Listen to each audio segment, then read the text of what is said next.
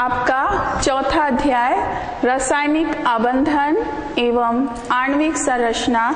इसके कुछ बिंदुओं के बारे में हमने कल चर्चा किया था, जिसमें हमने पढ़ा था कि वास्तव में परमाणु से अणु कैसे बनता है। अणु जो होता है, वो कितने तरह का बंध बनाता है?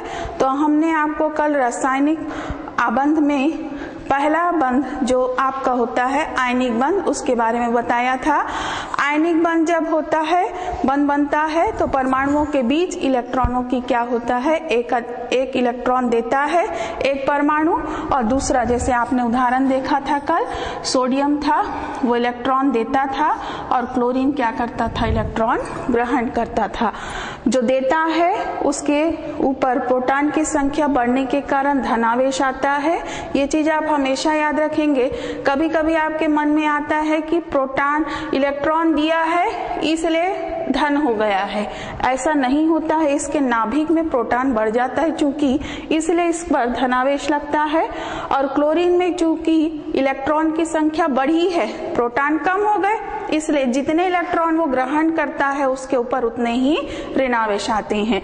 इन दोनों के बीच, आयनों के बीच बनने वाला यह बंध जो था, पहला वाला हमने बताया था आपको क्या था?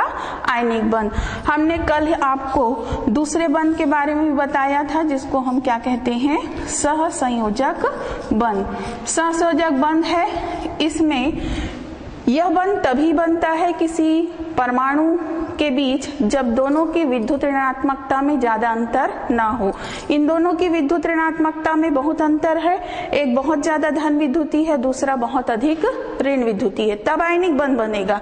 लेकिन अगर हम ससोजक बंद की बात करते हैं, जैसे आप लेते हो PCl3 तो फास्फोरस और क्लोरीन की विद्युत ऋणात्मकता में इतना अधिक अंतर नहीं है। समान जैसे आपके परमाणु हैं, जैसे दो कार्बन परमाणु हैं, दोनों की विद्युत ऋणात्मकता बराबर है तो इनके बीच जो बंध बनता है हमने क्या बताया था, वो कैसा था? सहसंयोजक। ये जो एक लाइन है आपकी, इसमें एक इलेक्ट्रॉन इसका रहता है साझेदारी में और दूसरा दूसरे कार्बन का है। मतलब एक बंध बनने में, एक सह संयोजक बंद बनने में एक जोड़ी इलेक्ट्रॉन की साझेदारी होती है। कल आपको हमने चर्चा में बताया था कि बहुबंध भी होता है सहसोजक बंध तीन तरह का होता है। सहसोजक बंध कितने तरह का होता है? तीन तरह का। पहला बंद होता है आपका एकल बंध पहला आपको हमने बताया था, एकल बंद दूसरा बंध होता है द्विबंध। और तीसरा बहुबंध के अंतर्गत द्विबंध और त्रिबंध आपका आता है। एकल बंध का मतलब होता है जैसे आपका हाइड्रोजन का बनना। हाइड्रोजन के अंतिम कक्ष में, पहले हाइड्रोजन के अंतिम कक्ष में मानिए, एक इलेक्ट्रॉन होता है वन एस वन इसका इलेक्ट्रॉनिक विन्यास है। दूसरे हाइड्रोजन के भी अंतिम कक्षा में एक इलेक्ट्रॉन होता है। अब दोनों ने दोनों ने अपने इलेक्ट्रॉन की साझेदारी की। शेयरिंग। शेयरिंग का मतलब होता है, हम अगर आप दो बच्चों के बीच एक पेन और एक पेंसिल है और आपको दोनों की आवश्यकता है, ठीक है? तो आप क्या करोगे? उस पर आपका दोनों बीच में रख दिए और दोनों का बराबर अधिकार हो जाएगा। उसी तरह से जब संशोजक बंध बनता है तो उस समय जो इलेक्ट्रॉन जो होते हैं बंध में, दोनों के नाभिक के बीच होते हैं। सहसोजक बंध की यही एक विशेषता होती है कि जो इलेक्ट्रॉन पेयर है, दो इलेक्ट्रॉन, एक पेयर मतलब दो इलेक्ट्रॉन।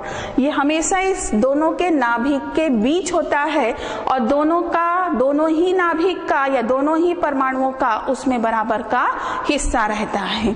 तो इस तरह से अगर एक इलेक्ट्रॉन की साझेदारी हुई थी तो दोनों के बीच एक सहसोजक बंध बना था, जिसे हम एक लाइन से दर्शाते हैं। दूसरा, जब हमने आपको ऑक्सीजन बताया था, उसमें ऑक्सीजन O2 ये आपका H2 अणु का बनना था हाइड्रोजन के अणु का बनना। अगर हम ऑक्सीजन के अणु के बनने की बात करते हैं तो ऑक्सीजन का जो वैलेंसी सेल होता है वैलेंसी सेल या संयोजकता कोष जिसको हम अंतिम कक्ष बोलते हैं, ठीक है? उसमें हम कितने इलेक्ट्रॉन लेंगे? परमाणु का क्रमांक होता है ऑक्सीजन का आठ। पहली कक्षा में दो इलेक्ट्रॉन और दूसरी कक्षा में छह। मतलब आपका अंतिम कक्षा में कुल कितने इलेक्ट्रॉन हो गए? छह इलेक्ट्रॉन। तो पहला ऑक्सीजन इसके अंतिम कक्ष में कुल कितने इलेक्ट्रॉन हैं? छह इलेक्ट्रॉन। इसको अपना अष्टक पूरा करने के लिए कितने इलेक्ट्रॉन की आवश्यकता है? दो इलेक्ट्रॉन की। अगर दो इलेक्ट्रॉन इसको कहीं से मिलता है तो इसके अंतिम कक्ष में कितने इलेक्ट्रॉन हो जाएँगे? आठ। दूसरा ऑक्सीजन अगर हम लेते हैं तो उसके भी अंतिम कक्ष में दो दो, चार और दो छह है। दो, दोनों ऑक्सीजन ने सबसे पहले एक एक इलेक्ट्रॉन की साझेदारी की उसके बाद क्या किया है? दो एक और जोड़ी इलेक्ट्रॉन की साझेदारी की। एक जोड़ी जब इलेक्ट्रॉन की साझेदारी की तो पहला संशोधक बन बना ऑक्सीजन सिंगल ऑक्सीजन। और दूसरा इलेक्ट्रॉन का जब साझेदारी हुआ तो वहाँ पे डबल बंद बनता है। तो इस तरह से हम कह सकते हैं कि जब एक इलेक्ट्रॉन की साझेदारी होती है, एक एक इलेक्ट्रॉन की तो सिंगल बंद बनता है। एक डबल इलेक्ट्रॉन या दो दो इलेक्ट्रॉन की साझेदारी होती है तो दो डबल बंद बनता है। एक चीज़ आप याद रखेंगे, जो संसर्जक बंध है, वो दो तरह का होता है, सिग्मा बंध और पाई बंध। तो यहाँ पे जब भी आगे आप पढ़ेंगे, इसी पार्ट में है, इसके बारे में विस्तृत में, हाइड्रोजन हाइड्रोजन में अगर सिंगल बंध है, कभी भी, कहीं भी सिंगल बंध है संशोधक बंध कैसा है, अगर सिंगल है तो हमेशा याद रखेंगे वो कौन सा बंध होता है, सिग्मा, इसको हम बोलते हैं सिग्मा। लेकिन अगर हम डबल बंध की बात करते हैं सिग्मा एक बंध सिग्मा होता है और दूसरा बंध हमेशा क्या होता है? पाई बंध होता है। तो इससे हमको ये पता चलता है कि सिग्मा वन अकेले हो सकता है। मैंने ये बोला कि सिग्मा वन होता है, सिंगल होता है तो क्या होता है? केवल सिग्मा। पाई वन नहीं होता। तो आप ये याद रखेंगे कि सिग्मा वन होता है, वो अकेले पाया जा सकता है, लेकिन पाई वन कभी भी अकेले नहीं होता। वो हमेशा किसके साथ होता है? सिग्मा बंध के साथ। अगर हम तीर बंध की बात करते हैं तो ऑक्सीजन के बाद तीसरे इस परमाणु क्रमांक सात नाइट्रोजन, इसमें अंतिम कक्ष में कितने इलेक्ट्रॉन होंगे? पाँच। संयोजकता कोष में जो पाँच इलेक्ट्रॉन है, इसको अपना अष्टक पूरा करने के लिए कितने इलेक्ट्रॉन की आवश्यकता है? तीन इलेक्ट्रॉन की। अगर नाइट्रोजन अपना अणु बनाएगा तो कैसे बनाएगा? पहले नाइट्रोजन के अंतिम कक्ष में कितने इलेक्ट्रॉन हैं? तीन। दूसरे नाइट्रोजन के अंतिम कक्ष में भी आपका तीन इलेक्ट्रॉन शेयरिंग करेंगे और बचे आपके कितने इलेक्ट्रॉन है? पाँच। पाँच में से तीन तीन इलेक्ट्रॉन की साझेदारी होगी। देख लीजिए, दो, तीन, पाँच।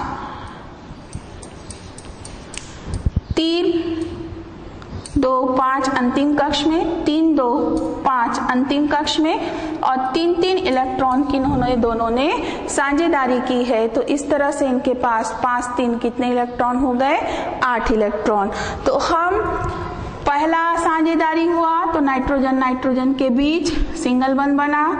फिर दूसरे जोड़ी इलेक्ट्रॉन से डबल बंद बना, और तीसरे जोड़ी इलेक्ट्रॉन जो है साझेदारी से कितना बन बनता है?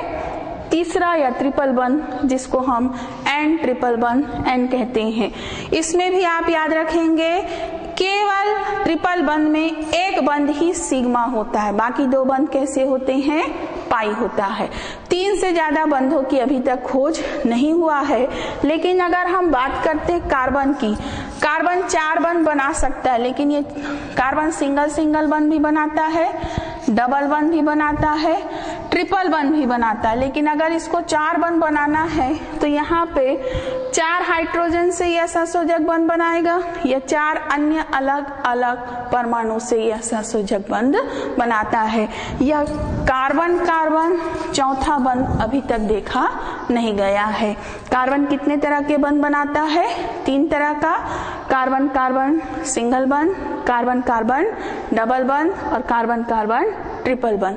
Carbon की संयोजकता चार होती है। अगर उसको अपनी चौथी संयोजकता को पूरा करना रहता है तो किसी अन्य परमाणु के साथ या किसी अन्य के साथ वह इसे पूरा करता है। अगला लेते हैं।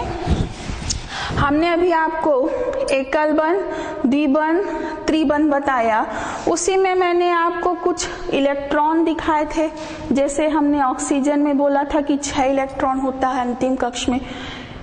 दो दो चार, दो छ आप लोग देख रहे होंगे कि ये दोनों जोड़ी है जो, वो बंद बनाने में भाग ले रहे हैं। लेकिन बाकी इलेक्ट्रॉन जो अंदर के और हैं, छह में से चार इलेक्ट्रॉन है, वो बॉन्डिंग में भाग नहीं ले रहे हैं या बंद बनाने में भाग नहीं ले रहे हैं।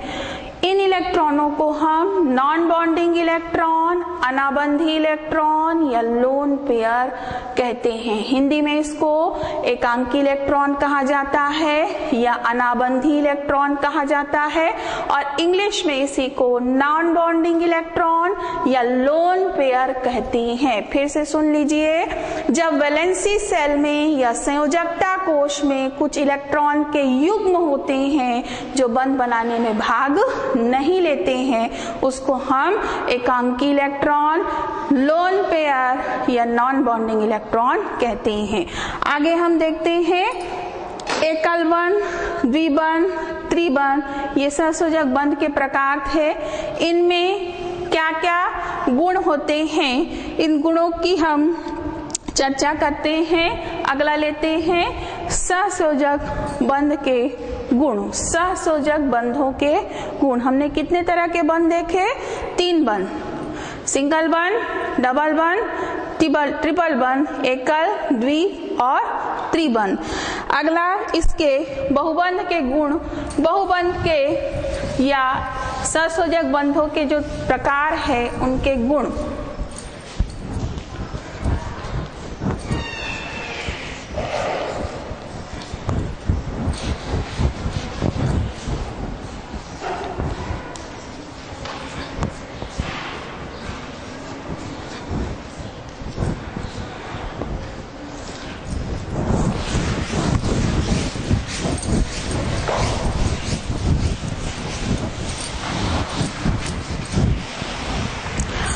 पहला गुण है, इसकी बंधन ऊर्जा, या इसी को हम बोलते हैं बंध ऊर्जा। बंध ऊर्जा किसे कहते हैं? तो हमने बोला, एक परमाणु दूसरे परमाणु के साथ इलेक्ट्रॉनों की साझेदारी करता है या बंध बनाता है। चाहे वो कोई भी बंध हो, चाहे वो ये विद्युत हो, यानिक हो, अगर बंध बनता है तो परमाणु का स्थायित्व है, वो बढ़ जाता है और स्थिति ऊर्जा में कमी आती है। फिर से सुन लीजिए, जब परमाणु अवस्था में रहता है तो उसमें से उसकी जो ऊर्जा होती है, अधिक होती है, वो अस्थायी होता है। लेकिन जैसे ही परमाणु से अणु बनता है, दोनों को हम बाँध देते हैं। कौन से बंध से? संसोजक बंध से। तो परमाणुओं में एक स्थायित्व आता है। और उसके ऊर्जा में कमी होती है या बंध बनने के दौरान ऊर्जा है वो मुक्त होती है। उसी ऊर्जा को हम कौन सी ऊर्जा कहते हैं? बंध ऊर्जा। जिस अणु की बंध ऊर्जा जितनी अधिक होगी, आप इतना याद रखेंगे, जिसकी बंध ऊर्जा जितनी अधिक होगी, वह उतना ही अधिक स्थायी होगा, उसका बंध उतना ही मज़बूत होगा। इसी में अगर हम बात करते हैं हमने अभी संसोजक बंध के तीन प्रकार बताए थे। कार्बन कार्बन के बीच, मान लीजिए आपका सिंगल बंध है, एकल बंध डबल बंध और तीसरा ट्रिपल बंध या त्रिबंध आप खुद सोचिए, मैंने दो परमाणु को एक रस्सी से जोड़ा है एक बंद से जोड़ा है है ना? तो वो कम मजबूती से जुड़े हैं तो उनकी बंध ऊर्जा कैसी होगी? कम होगी, ठीक है? क्योंकि वो उतनी स्थायी नहीं होंगे। अब मैंने दो परमाणुओं को दो दो इलेक्ट्रॉन की शेयरिंग करके डबल बंध से जोड़ दिया है। तो डबल बंध से जुड़ गया मतलब हमने दो दो रस्सी से उसको बाँध दिया है, दोनों के बीच मज़बूत बंध बन गया है। तो इसकी बंद ऊर्जा और क्या हो गई? अधिक हो जाएगी। और अगर हम उसको तीन तीन बंध तीन तीन इलेक्ट्रॉन की शेयरिंग से अगर हम उनकी बॉन्डिंग को देखते हैं तो यह बंध क्या होगा? सबसे मज़बूत होगा। उल्टा भी सोचिए आप। उल्टा कैसे सोचेंगे? अगर हम ट्रिपल बंध को तोड़ेंगे तो हमको ज़्यादा ऊर्जा देनी पड़ेगी, जिसको हम वियोजन ऊर्जा कहेंगे। डबल बंध को तोड़ेंगे तो दो ही बंध को तोड़ना है तो कम ऊर्जा देंगे, और सिंगल को देंगे तो और कम ऊर्जा देंगे। तो इनकी वियोजन ऊर्जा इधर सिंगल बंध की ओर घटेगी और बंधन ऊर्जा कैसी होगी? बढ़ेगी। कार्बन कार्बन सिंगल बंध अगर हम उदाहरण लेते हैं तो आपकी पुस्तक में बहुत सारे उदाहरण हैं। जैसे कार्बन कार्बन के बीच, देखिए 300 सिंगल बंध होता है तो तीन किलो जूल पर मोल ऊर्जा मुक्त होती है। अगर कार्बन कार्बन के बीच आपका डबल बन दिया है तो 619 किलो जूल पर मोल ऊर्जा आपका पहला मैंने बोला कितना? तीन सौ सैतालीस। डबल वाले का कितना बोल रही हूँ? ये आपका है तीन सौ सैतालीस किलो जूल पर मोल। दूसरा है आपका 619 किलो जूल पर मोल। और अगर हम ट्रिपल वन की बात करते हैं तो ये हमारा 811 किलो जूल पर मोल कहने का मतलब एक कल बंद से ज़्यादा डबल बंद का है बंधन ऊर्जा, डबल बंद से ज़्यादा ट्रिपल बंद का है। यहाँ तो दोनों समान परमाणु दिख रहे हैं आपको। ये भी कार्बन और ये भी क्या है? कार्बन है। अगर हम अलग अलग लेते हैं, जैसे हम सबसे पहले लेते हैं नाइट्रोजन नाइट्रोजन सिंगल वन में तो नाइट्रोजन नाइट्रोजन सिंगल वन में दिया है आपका एक सौ उनसठ किलो जूल पर मोल। उसी तरह से देखिए, कार्बन और ऑक्सीजन के बीच अगर ले रहे हैं तो देखिए 700 कार्बन डबल वन ऑक्सीजन 748 बढ़ गया है मान। अगर हम तीसरा लेते हैं, कार्बन और ट्रिपल वन नाइट्रोजन के बीच तो इसका मान और अधिक है 890 कहने का मतलब सिंगल से ज़्यादा बंद ऊर्जा डबल की है और डबल से ज़्यादा ट्रिपल बंद की बंद ऊर्जा होती है। अगला पॉइंट हम इसी में लेते हैं। बंद ऊर्जा के बाद संसोजक बंद होते हैं, उसमें दूसरा गुण होता है, इनकी बंध लंबाई।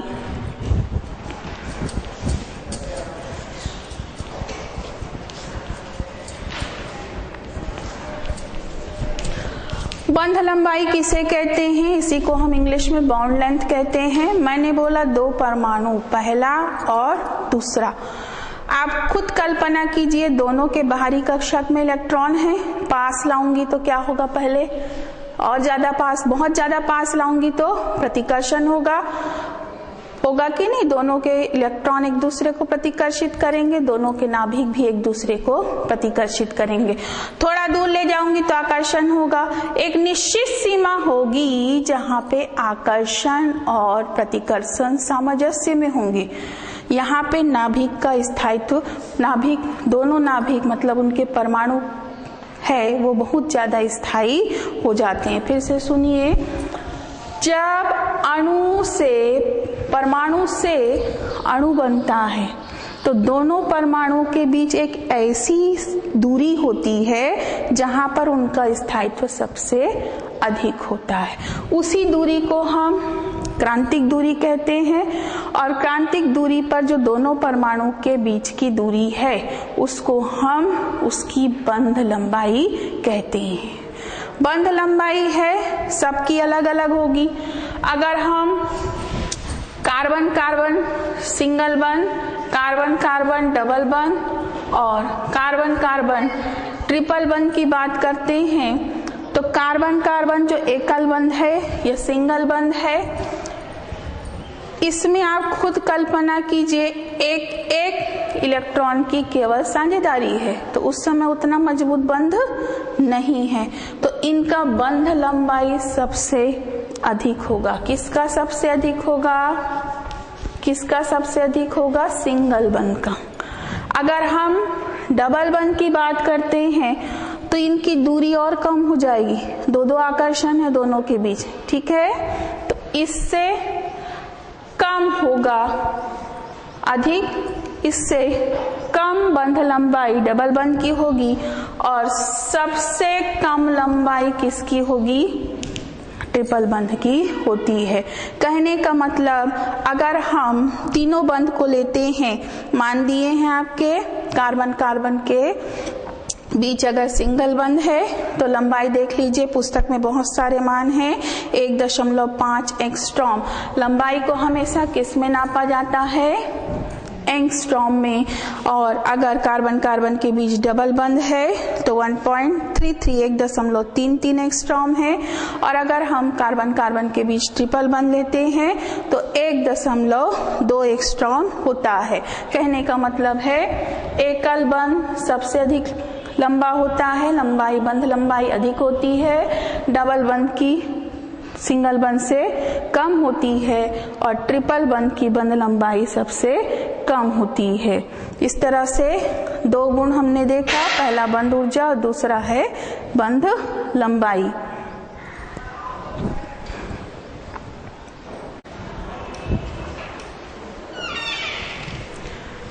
इस तरह से हम बंद लंबाई के बाद इसका तीसरा जो गुण है उसको लेते हैं। तीसरा इसका संसोजक बंद का गुण होता है क्रियाशीलता।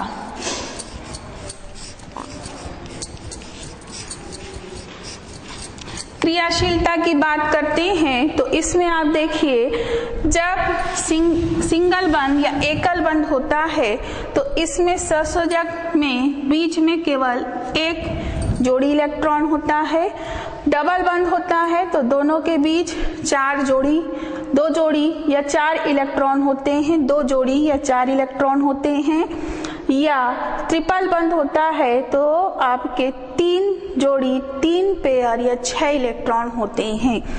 आप लोगों को अगर हम क्रियाशीलता की बात करते हैं तो क्रियाशीलता इलेक्ट्रॉन के कारण होती है। सिंगल वन में इलेक्ट्रॉन बीच में कम है, डबल वन में उससे ज़्यादा है, और ट्रिपल वन में उससे भी ज़्यादा है। तो अगर कोई अभिकर्मक डाला जाएगा, चाहे वो नाभिक स्नेही हो चाहे वो इलेक्ट्रॉन स्नेही हो तो सबसे पहले आक्रमण उसके इन्हीं इलेक्ट्रॉन पर होता है, यहीं के बंध टूटते हैं। अगर हम क्रियाशीलता को देखेंगे तो सबसे पहले जो आपका त्रिबंध है, ट्रिपल बंध है, इसकी क्रियाशीलता सबसे ज़्यादा होगी। अब क्यों ज़्यादा होगी? इसका एक बंध एक एक इलेक्ट्रॉन फ्री हो जाएगा और वो बॉन्डिंग में भाग ले सकता है, बंद बना सकता है। अगर अभिकर्मक मिले तो इसका दूसरा बंध भी टूट के बॉन्ड बना सकता है दूसरे परमाणु के साथ। अगर इसको और अभिकर्मक मिले तो इसका तीसरा बंध भी टूट सकता है। मतलब इसकी क्रियाशीलता सबसे अधिक है। अगर हम डबल बंद की बात करते हैं तो इसमें अगर हम अभिकर्मक डालेंगे तो पहले एक ही बंद टूटेगा। फिर दूसरा बंद टूटेगा। उतनी ज़्यादा क्रियाशीलता इसकी नहीं है। और अगर हम सिंगल बंद की बात करते हैं तो थोड़े समय में ही इसकी क्रियाशीलता कैसी हो जाएगी? खत्म हो जाएगी, क्योंकि एक ही बंद है, वो दूसरे से बना लेगा। तो इस तरह से हम कहेंगे कि सिंगल बन या एकल बन से ज़्यादा क्रियाशील कौन होता है? डबल बन और डबल बंद से भी ज़्यादा क्रियाशीलता कौन दिखाता है? जहाँ पे ट्रिपल बंद या त्रिबंध पाया जाता है।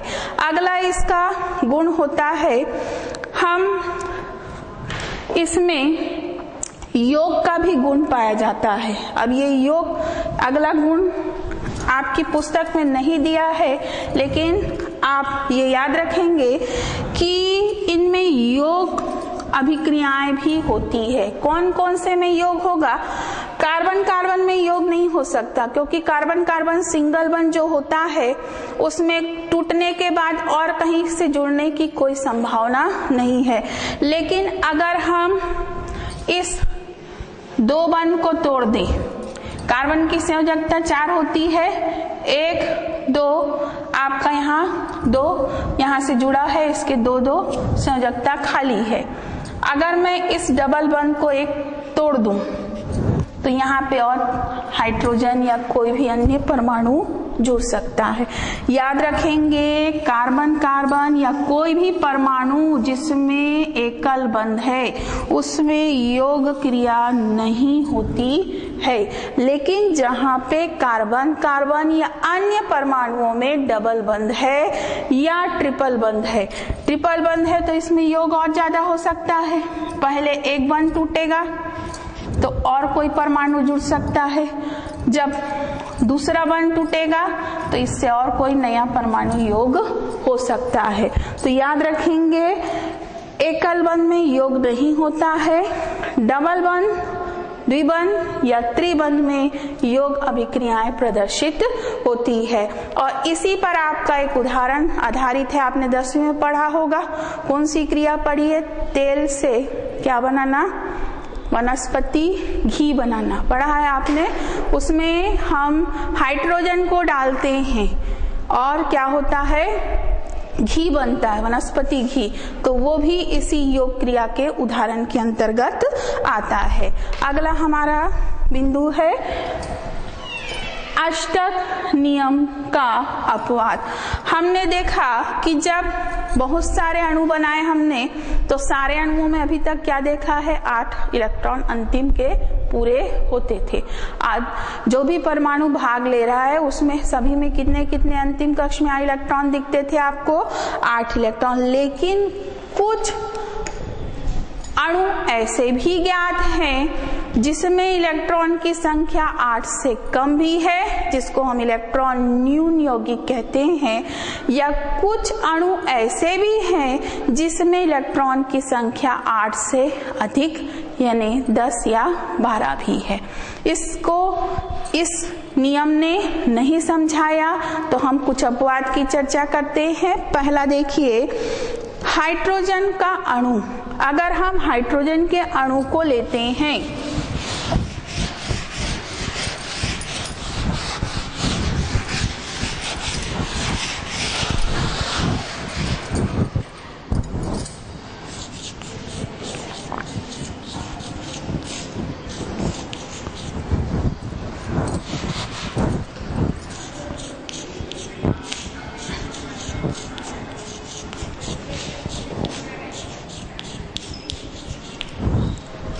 इसमें अगर हम H2 या हाइड्रोजन के अणु का बनना देखते हैं तो हाइड्रोजन के पहले कक्षा में एक, दूसरे हाइड्रोजन के भी अंतिम कक्षा में एक। अंतिम कक्षा में एक एक मिला के कितने इलेक्ट्रॉन हो रहे हैं? दो। आठ हो रहे हैं क्या? नहीं, कहने का मतलब यह क्या है? एक नियम का अपवाद है। इसके अंतिम कक्ष को इसने स्थायी तो दो इलेक्ट्रॉन मिला के ही कर लिया। H2 का अणु प्रकृति में पाया जाता है। कहने का मतलब इसमें अष्टक नहीं है, फिर भी यह कैसा है? स्थायी है। उसी तरह से अगर हम पानी का संरचना देखते हैं तो ऑक्सीजन में दो दो चार, एक ऑक्सीजन, एक हाइड्रोजन से, दूसरा हाइड्रोजन से ऑक्सीजन एक एक सिंगल बंद बनाता है। ऑक्सीजन के तो अष्टक पूरे हो रहे हैं। दो दो, चार, दो, छह और एक एक इसको मिला है हाइड्रोजन से। टोटल इसके आठ हो गए। ऑक्सीजन के तो आठ हो रहे हैं, आप ध्यान देंगे। लेकिन हाइड्रोजन में कितने हैं अंतिम में? दो दो। तो ये भी क्या है आपका? अष्टक नियम का अपवाद है कि ज़रूरी नहीं है कि अणु बनने के लिए अंतिम कक्ष में आठ आठ इलेक्ट्रॉन हो। कुछ परमाणु से जब अणु बनता है तो अंतिम कक्ष में दो इलेक्ट्रॉन भी हो सकते हैं। और वो अणु प्रकृति में पाया भी जाता है और स्थायी भी होता है। अगला लेते हैं हम, दूसरा अपवाद लेते हैं। मैंने अभी थोड़ी देर पहले बताया, हमने बोला इसमें आठ से कम है। उसी के पहले थोड़ा बताई थी कि आठ से अधिक इलेक्ट्रॉन भी पाए जा सकते हैं। उदाहरण के लिए हम लेते हैं PCl5 phosphorus penta chloride phosphorus penta मतलब पाँच क्लोराइड का उदाहरण लेते हैं। फास्फोरस का परमाणु क्रमांक पाँच होता, पंद्रह होता है। इसके अंतिम कक्ष में देख लीजिए, पाँच इलेक्ट्रॉन होते हैं। पंद्रहवें वर्ग का सदस्य है, इसलिए इसके अंतिम कक्ष में कितने इलेक्ट्रॉन हैं? पाँच। इसको कितने इलेक्ट्रॉन की आवश्यकता है? केवल तीन। तो इसने क्लोरीन के साथ, पहला क्लोरीन क्लोरीन के अंतिम कक्ष में देखिए, सात इलेक्ट्रॉन। दूसरे क्लोरीन के अंतिम कक्ष में भी सात इलेक्ट्रॉन हैं। तीसरे क्लोरीन के भी अंतिम कक्ष में भी सात इलेक्ट्रॉन है। क्लोरीन और फास्फोरस पहले ने अपना क्लोरीन के साथ कैसा बंध बनाया? पी सी एल आठ क्लोरीन के हैं, फास्फोरस के अभी कितने हो गए? पाँच और एक, छह। दूसरे क्लोरीन के साथ वो जब बंध बनाया तो उसके कितने हो गए? फास्फोरस के सात और क्लोरीन के कितने हो गए? आठ। तीसरे क्लोरीन के साथ जब फास्फोरस ने सहसोजक बंध बनाया तो क्लोरीन के हो गए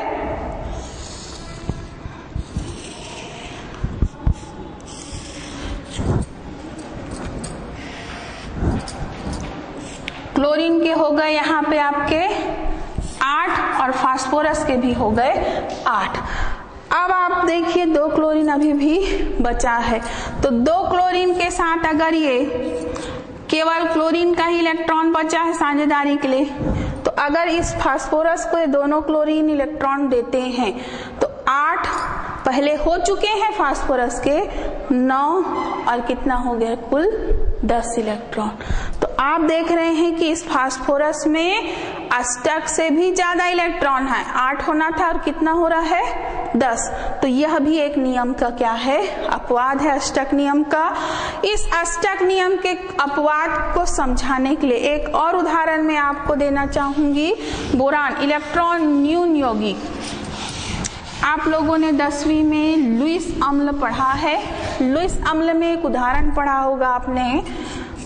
बोरान, ट्राई, फ्लोराइड। लुइस अम्ल होता है अम्ल वह होता है लुइस अम्ल जो इलेक्ट्रॉन को युग्म को ग्रहण कर सकता है। इसको हम इलेक्ट्रॉन न्यून यौगिक क्यों बोलते हैं? बोरान का परमाणु क्रमांक होता है पाँच। पहले कक्षा में दो, दूसरी कक्षा में कितने इलेक्ट्रॉन होते हैं? तीन। हमने इसके अंतिम कक्ष में कुल कितने इलेक्ट्रॉन लिख दिए? तीन। फ्लोरीन जो होता है, उसके अंतिम कक्ष में कुल होते हैं सात इलेक्ट्रॉन इसको मिल गया बोरान से आठ। दूसरे फ्लोरीन के भी अंतिम कक्ष में कुल कितने इलेक्ट्रॉन हैं? सात। बोरान से मिल गया उसको आठ। और तीसरे तीसरे फ्लोरीन के अंतिम कक्ष में भी कितने इलेक्ट्रॉन हैं? आपके सात। इसको एक मिल गया, बोरान से हो गया इसके भी आठ।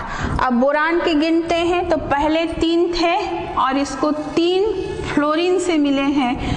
कुल तीन और तीन कितने हो गए? छह। क्या अष्टक पूरा हुआ है? अष्टक से कितने इलेक्ट्रॉन कम दिख रहे हैं आपको? दो। तो इस बोरान ट्राइफ्लोराइड यह भी प्रकृति में स्थायी अणु के रूप में पाया जाता है। लेकिन आप याद रखेंगे कि बोरान फ्लोराइड में बोरान का अष्टक पूरा नहीं होता है, उसमें दो इलेक्ट्रॉन की कमी होती है। और आप लोगों ने पढ़ा है कि यह लुइस अम्ल की तरह व्यवहार करता है, यानी किसी भी लुइस क्षार के साथ यह एक जोड़ी इलेक्ट्रॉन को ग्रहण करके अपना अष्टक पूरा करता है उदाहरण के लिए, अगर हम अमोनिया को लेंगे तो अमोनिया से ये लोन पेयर लेगा और अपना अष्टक पूरा करता है। तो इस तरह से ये अष्टक नियम के अपवाद है। इस तरह के जो यौगिक हैं, जिनमें आठ इलेक्ट्रॉन से कम होते हैं, जैसे बोरान फ्लोराइड एल्मोनियम ट्राइफ्लोराइड, इसको हम इलेक्ट्रॉन न्यून यौगिक कहते हैं।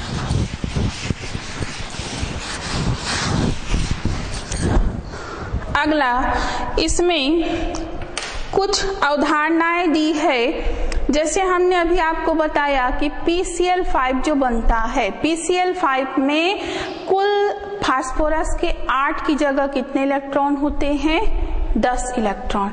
तो इसके लिए एक वैज्ञानिक थे, उनका नाम है सजडन। उन्होंने अपना एक परिकल्पना दिया।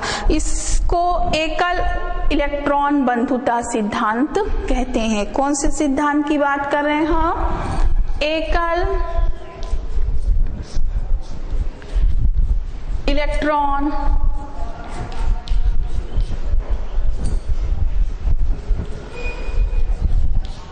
बंधुता सिद्धांत। इस सिद्धांत में सजडन ने बताया कि जैसे हमने बोला कि फास्फोरस का पेंटाक्लोराइड बनता है तो उन्होंने क्या बोला कि प्रकृति में बंध बनने के लिए एक जोड़ी इलेक्ट्रॉन ही नहीं चाहिए, एक अकेला इलेक्ट्रॉन भी दूसरे परमाणु के साथ बंध बना सकता है। फिर से सुनिए। प्रकृति में कुछ ऐसे बंध भी पाए जाते हैं सजडन ने कहा, जिसमें परमाणुओं के एक एक इलेक्ट्रॉन के बंधन की आवश्यकता नहीं होती है। किसी एक परमाणु का एक इलेक्ट्रॉन ही बंध बनाने में भाग लेता है। उदाहरण के लिए आपका फास्फोरस पेंटाक्लोराइड मैंने अभी उदाहरण बताया था। हमने बोला था कि फास्फोरस में जब तीन के साथ ससोजक बंध बना तो दो क्लोरीन जो है वो बच रहे थे और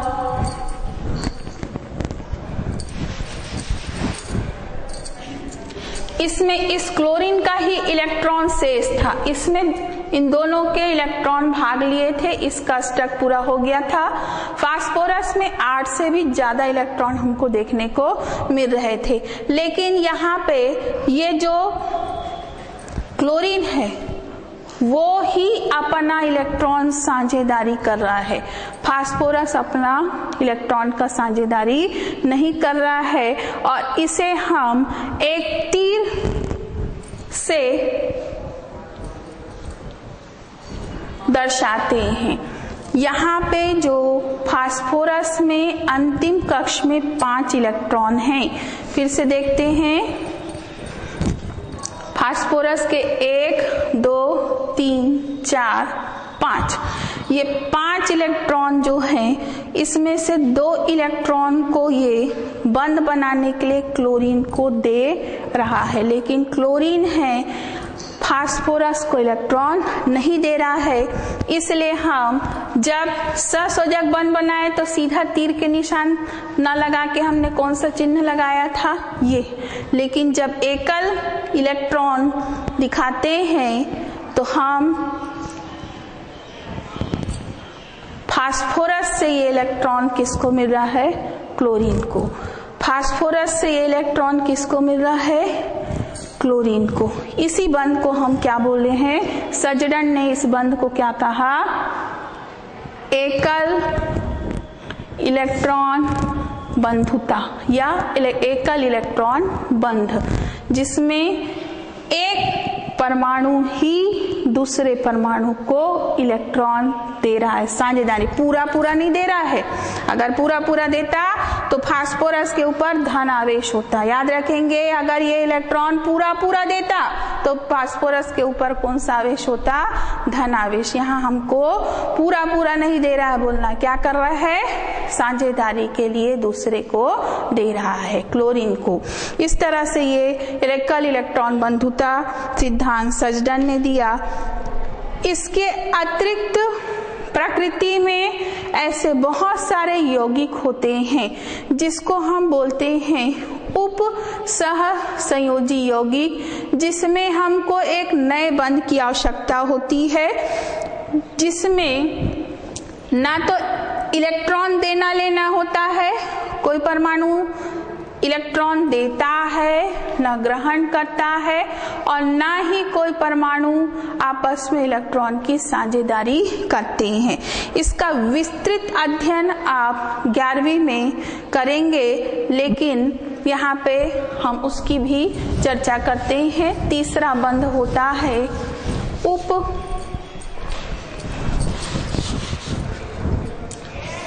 पहला बंध था आपका आयनिक दूसरा बंध था आपका। सह संयोजक।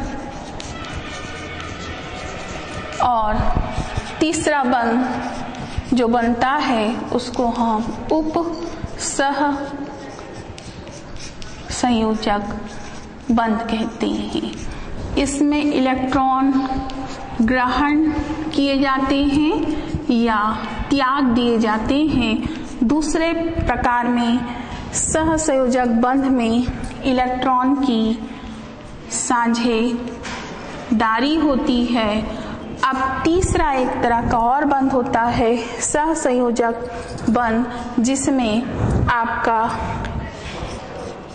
एकल इलेक्ट्रॉन युग्म मतलब एक जोड़ी इलेक्ट्रॉन, इसे कोई एक परमाणु दूसरे परमाणु को साझे के लिए देता है, कक्षक में रखने के लिए देता है।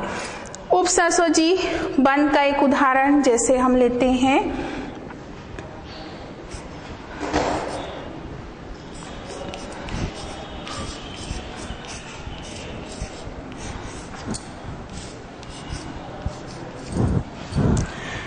यहाँ पे आयरन जो होता है, आयरन के परमाणु क्रमांक को देखते हैं तो 26 होता है।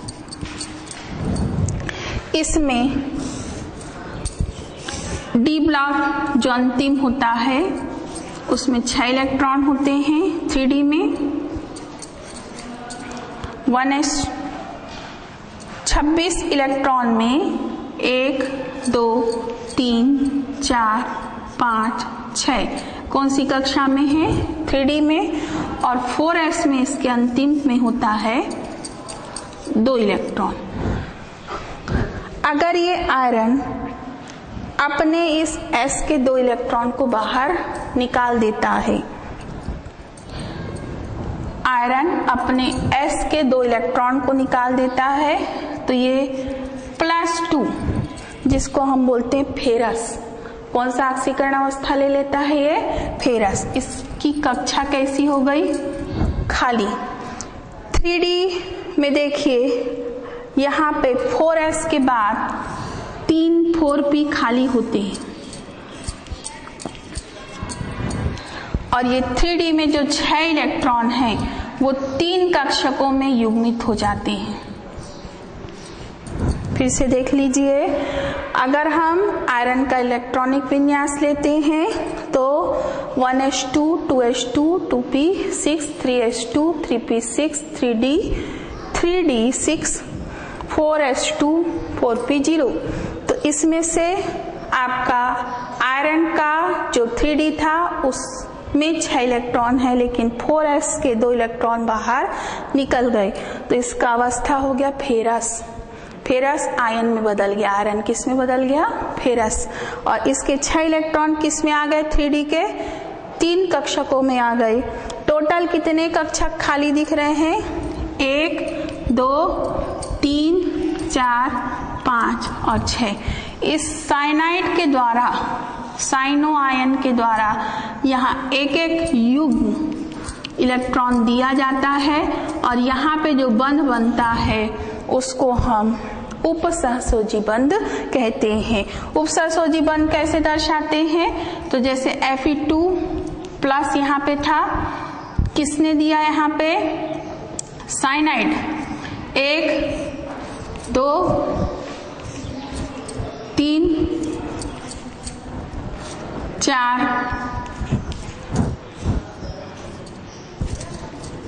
पाँच और छ। तो जो दे रहा है